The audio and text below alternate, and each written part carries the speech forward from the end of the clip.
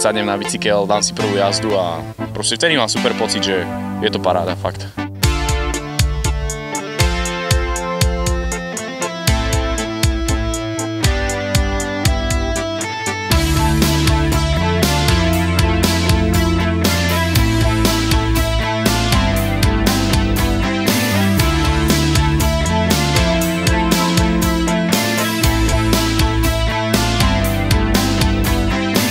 Volám sa Matej Mackovič, venujem sa z jazdu, druhý rok jazdím elitu. Pochádzam z Povazkej Bystrice, v podstate som sa tu narodil, vyrastám tu, trénujem tu, žijem tu.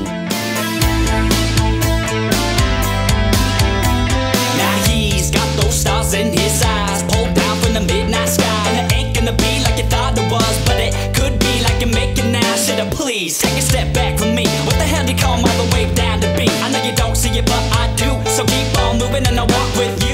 Začal som jazdiť asi v mojich 16 rokoch, čo už je dosť teda neskoro. Na prvé preteky som sa dostal v 18 rokoch, kde som sa už aj sám doviezol autom a sám som si to všetko hradil. No sám, rodičia.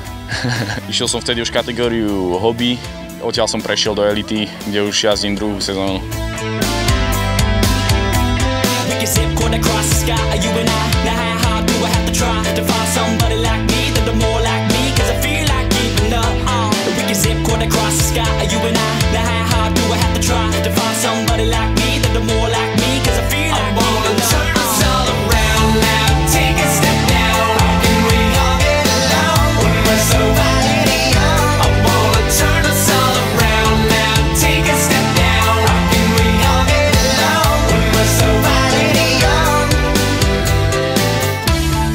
Tento rok som dojazdil druhú sezónu mužov.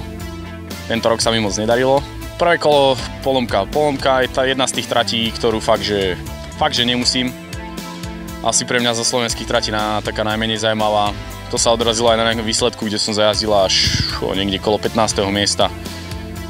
Po nej sa išla o, po nej sa išli majstrovstva Slovenska na Kubínskej holi. Ja som teda mal silné ambície, trať mi sedí, mám ju rád. Bohužiaľ, v, v kvalifikácii sa mi podarilo dvakrát vyváľať, aj vo finálke dvakrát, takže z toho zase nič nebolo. Najväčším sklamaním bolo pre mňa asi slovenský pohár na Rači, kde, kde som mal našlapnuté na celkom dobrý výsledok a v poslednej zatačke pred cieľom som padol, ktorý som bol naozaj sklamaný. Tento rok som vlastne o, odišiel z môjho v podstate domovského týmu, čo je Life for Ride a išiel som skúsiť jazdiť za iný klub, čo sa mi vlastne asi moc nevyplatilo, keďže v polke sezóny sa nám tým rozpadol a ostali sme všetci bez týmu, bez bicyklov a bez žiadnej tímovej podpory. Takže som ani konec sezóny nedojazdil. Bohužiaľ.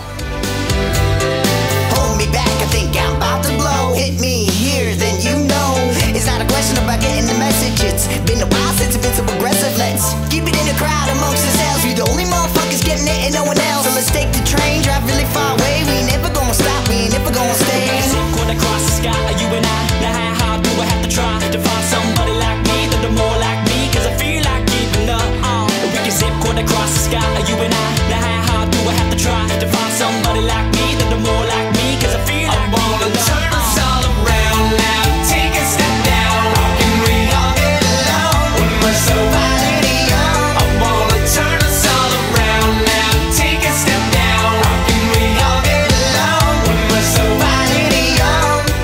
Sezónu som našťastie nemal žiadne vážne zranenie, akurát tak nejaký vyvrtnutý členok a no, veľa narazených vecí, ale to nestojí ani za reč. A za celý čas, čo jazdím, tak no, to už bolo hodne. Začiatky sú vždy ťažké, keď to človek ešte tak dobre neovláda a snaží sa pridávať. Takže skôr asi, asi by si sa mohli opýtať, že čo som nemal zlomené, ako čo som mal zlomené.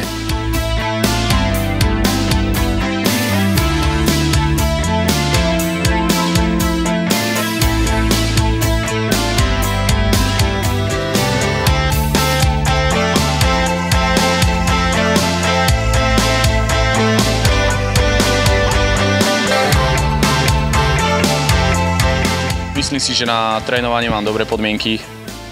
Za domov mám peknú horu, smrekovú, boro, aj borovicovú, takže dá sa pojazdiť. V zime, keď sa nedá jazdiť na bicykli, tak v podstate mám zimnú prípravu, čo si spočíva fitko, plaváreň, nejaké kondičné veci. No a okrem toho ešte jazdím na frisky a v podstate každý víkend som niekde.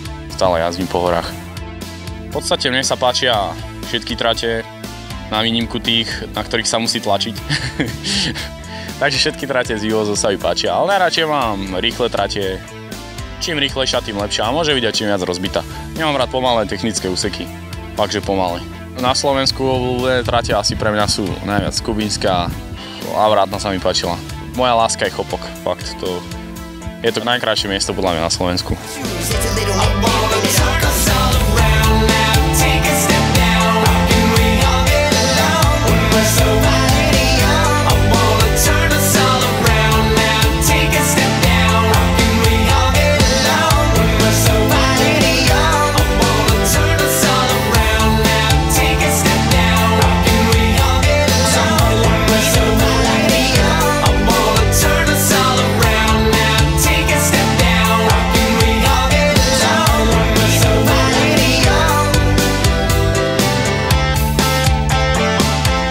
Budúcej sezóny chcel by som sa dostať hlavne mimo Povazku Bystricu, aj keď je to pekné mesto, ale chcel by som sa odtiaľto dostať inde.